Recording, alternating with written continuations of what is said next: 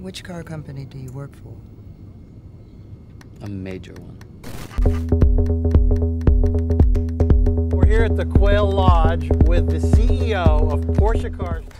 To be the president and CEO of a car company like Porsche, did you ever intend to have this job? Probably not. No. So, as the CEO of a car company, how do you sleep at night? Who understands this stuff? It makes no sense. When you think of Porsche, you probably think of fast cars and finance bros. Porsches are expensive, but decidedly less flashy than their Italian rivals. So they do well with the people that want expensive sports cars, but don't want to explain what they do for a living every time they stop at a gas station. Nah, Italian trash. Besides, I only steal Porsches. What you might not know is that Porsche and the finance bros that enjoy the fast cars they make have more than a producer-consumer relationship. Porsche is itself effectively an investment firm that happens to occasionally make cars on the side. If you weren't confused already, Porsche Automobiles is owned by the Volkswagen Group, the company that makes the Golf and the Beetle, but the Volkswagen Group is owned by Porsche. The you can also buy shares in Porsche, as well as Volkswagen, because they are both public companies listed on the Frankfurt Stock Exchange. However, Volkswagen has announced plans to take Porsche public at the end of the year, even though it already is a public company. This corporate clusterfuck is only where the weirdness begins, because besides making cars, Porsche has investments in companies that make commercial 3D printers, laser systems, and satellite launch platforms. So it's time to learn how money works to find out why Porsche is really just a hedge fund that occasionally makes some cars. This week's lesson was brought to you by Noa, News Over Audio. If you're like me, reading isn't your best method of trying to learn something new. Since you're watching this video, I can imagine you're probably a visual or auditory learner. Noa is an audio app that brings you the world's best journalism, curated by editors and read aloud by professional voice actors. They don't just read you articles though. A dedicated team of experts curate high value and in-depth series by pulling together multiple stories from premium publishers like The Economist and Harvard Business Review, and add a narrator that brings it all together. I recently listened to a series on why many are losing faith in the Fed, and how they may be losing credibility. The narrator gave me the full picture of how we got here, the different sides of the story, and what's next for the central bank. If you'd like to listen to this story and others, sign up for Noa using the link in my description. My channel listeners get one month off Noa Premium access for free when they sign up using the link below. Now back to Porsche. The company was founded as an engineering firm in 1931 by Ferdinand Porsche and his associates. It spent its early years on questionable projects, mostly for the German government at the time. If you want to know more about how the company went from making tanks for Hitler to sports cars for trust fund babies, then you should go and watch the video I made on how history works covering the long and troubled history of the now beloved company. Porsche was instrumental in the development of the Volkswagen Group, which translates from German as people's car. Porsche Group designed the first ever Volkswagen, the Beetle, back when the people's car was owned by the people. In other words, Volkswagen was a government company. This is where things are often made unnecessarily complicated by people trying to explain this structure. Simply put, Ferdinand Porsche decided that his engineering firm was quite good at building cars, so after the Second World War, he created a subsidiary company, Porsche Automobile Group or Porsche AG. This automobile group was in turn owned by Porsche Automobile Holding.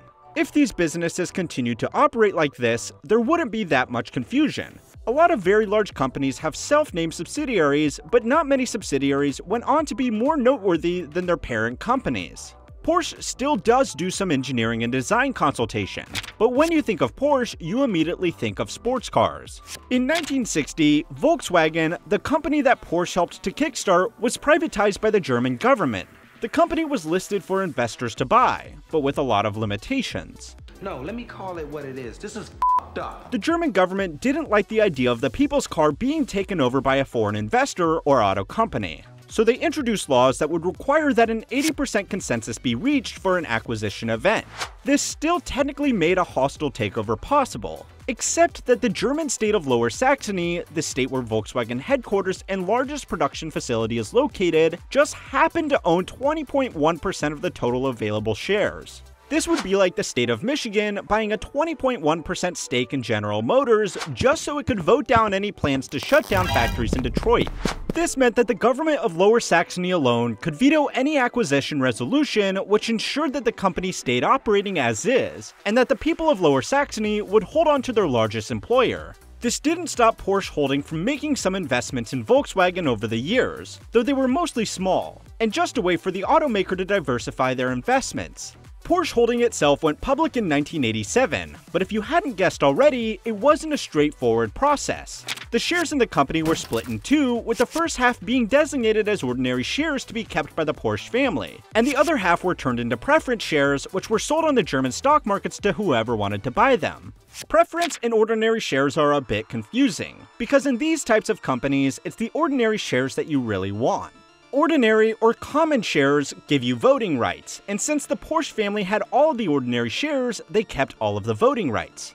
The investors buying the preference shares may not have any say in how the company is run, but in the event of corporate insolvency, they are paid out before ordinary shareholders, hence why these shares are called preference shares. The two businesses had a shared history, but they mostly did their own things for most of the 60s, 70s, and 80s, Volkswagen worked on economy mass market cars, and Porsche made expensive sport cars while diversifying into other investments and continuing their design and engineering offices. But then, in 1993, the European Union was formed, the EU had several rules which were not compatible with the laws that Germany introduced to keep Volkswagen under the control of Lower Saxony. The EU was established to promote business activity, and archaic laws that kept companies under government control were going to hurt this mission. Now, any company that wanted to take control of Volkswagen could, so long as it controlled a majority stake in the business. That was still no small feat, considering the company had been listed for decades and was owned by thousands of different investors. Lots of companies were still interested in trying, however, because thanks to the protections given to it since the 60s, Volkswagen was worth more than it was broken up than if it was kept together as an automaker. Porsche Holding was one of the companies that started buying Volkswagen shares, eventually buying up a significant stake that it was assumed that a takeover was inevitable. Porsche Holdings continually denied any plans for a takeover, and basically maintained the line that it just liked the company. Porsche. There is no substitute. Porsche eventually raised its stake to over 50% of total shares outstanding, but it needed to take a large amount of debt to do so. At its peak, it had 10 billion euros of debt, and it was only able to meet its repayments by selling some of its shares to the Qatari Sovereign Wealth Fund. The only way that Porsche Holding really had a chance to buy back these shares was by taking control of Volkswagen and using the piles of cash that the much larger company had to pay off its debt. In 2012, Porsche Holdings took control of the Volkswagen Auto Group. It then sold its most valuable asset, Porsche automobiles to Volkswagen in exchange for enough money to buy back the ordinary shares from the Qatari Sovereign Wealth Fund, once again making the Porsche family the exclusive voting power in the company. The history in corporate intrigue is very interesting, but the simple breakdown is that Porsche Holdings is just an investment firm that used to own Porsche automobiles. It sold Porsche automobiles to another company it owns, the Volkswagen Group, in the last 10 years, the Volkswagen Group has been able to add significant value to the Porsche brand by sharing R&D costs amongst its other car brands. The Volkswagen Group wants to realize the value that it has added to the brand by selling Porsche and returning the money it makes to its shareholders. The only confusing part is that Volkswagen Group's biggest shareholder also just happens to be a company with Porsche in its name that was founded by the same family. But don't ever take sides with anyone against the family again.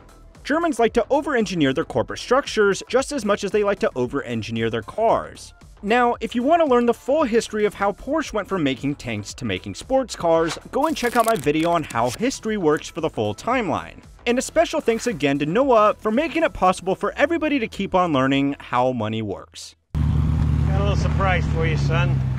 What kind of surprise? Yeah, a little surprise. No.